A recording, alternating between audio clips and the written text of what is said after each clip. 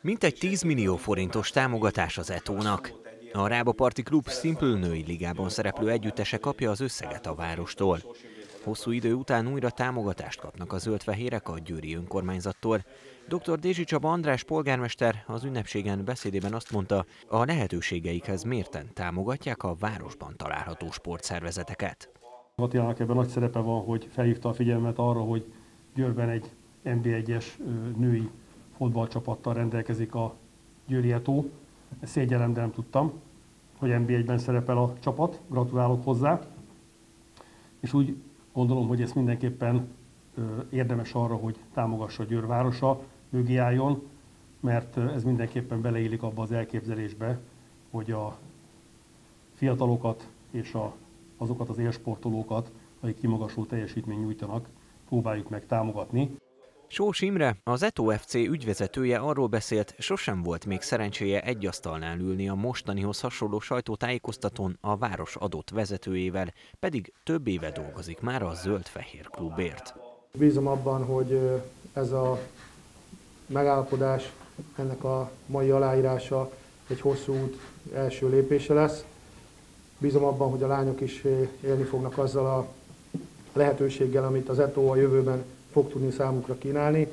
Nagy öröm számomra az is, hogy a hétvégi mérkőzést követően egy újabb rekordot sikerült a csapat életében megdönteni. 2018-ban volt utoljára példa arra, hogy a Győri ETO női csapata három egymás követő találkozón nem szenvedett vereséget, és meg tudta őrizni a, a veretlenségét.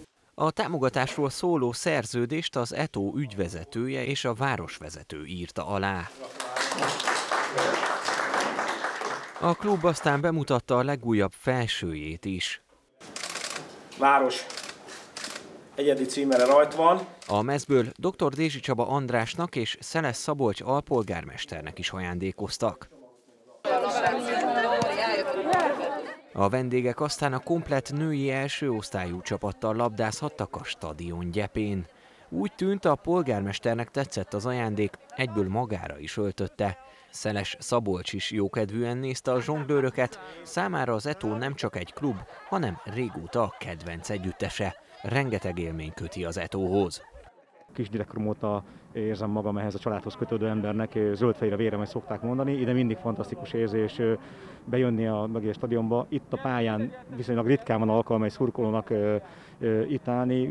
Jönnek az emlékképek, akár az utolsó bajnoki címük, amikor berohantunk itt a pályára, vagy amikor a fejútást ünnepeltük az MB3-ból. Ezek is ilyen szép pillanatok. Hát remélem, hogy majd a saját béletes helyemről, a lelátóról, majd a közeljövőben a, berohanhatok akkor is, amikor végre féltünk újra az MB1-be is újra MB1-es csapatot ünnepelhetünk. Persze a lányoknak pedig szurkunk azért, hogy egyrészt most őrizzék meg az MB1-es tagságukat, aztán nekik is minél nagyobb sikereket kívánunk a jövőben. A tavasszal még veretlen Eto FC Győr a következő fordulóban a listavezető MTK otthonában lép pályára a Simple Női Ligában.